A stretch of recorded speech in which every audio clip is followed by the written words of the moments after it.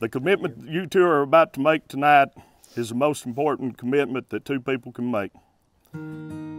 You're about to create something new.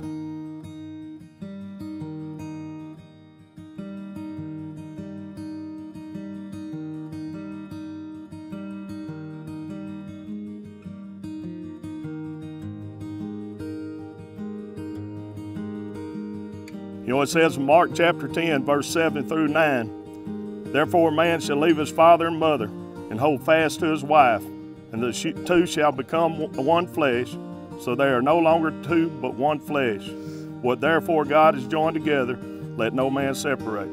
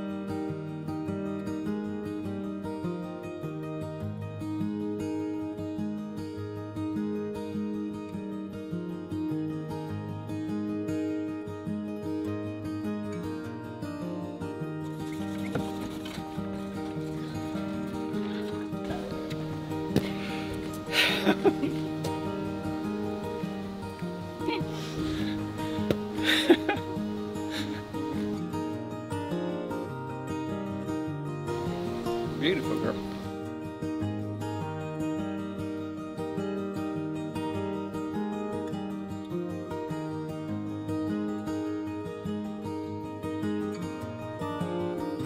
Cutter and Kenzie, I'd ask both of you remember to treat yourselves with kindness, gentleness, dignity, and above all else, respect.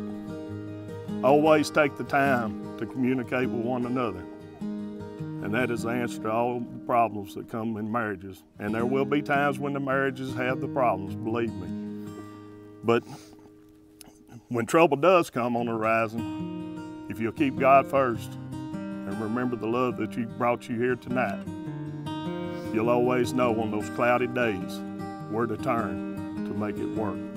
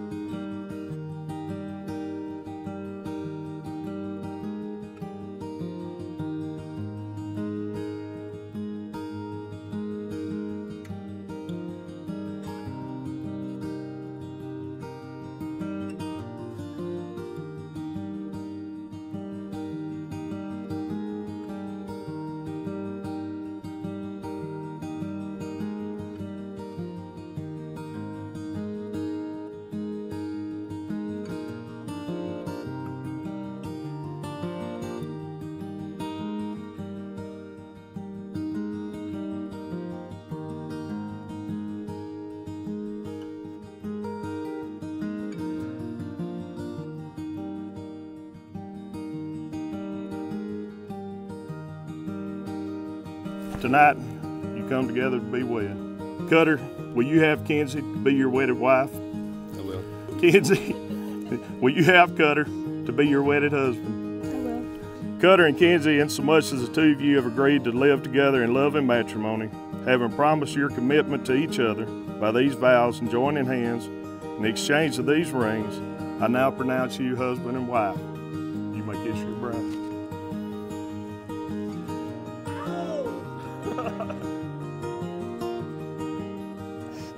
It gives me great pleasure to introduce you Mr. and Mrs. Cutter West.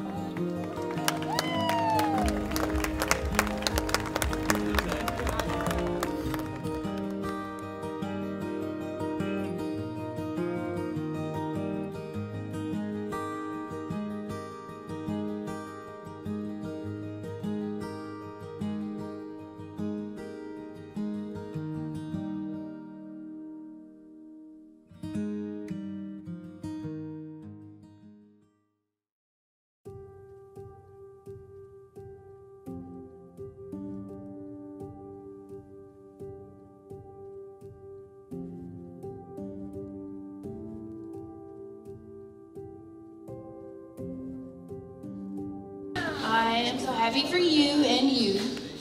And I've waited on you for a long time. And. Oh. Sorry.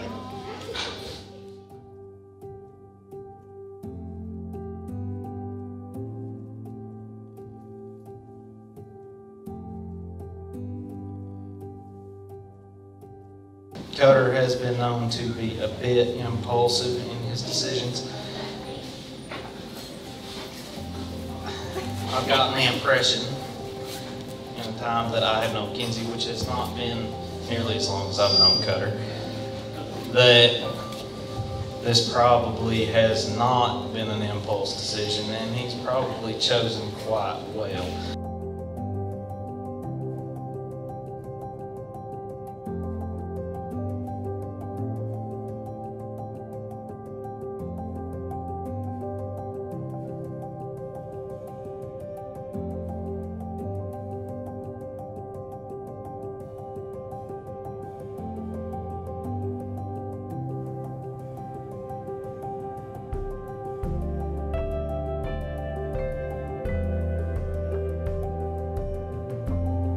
Cutter has been by my side for a long time.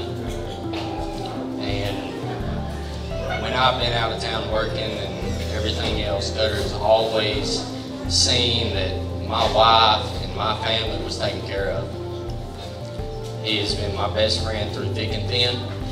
He's been my best man, and he couldn't have picked a better fit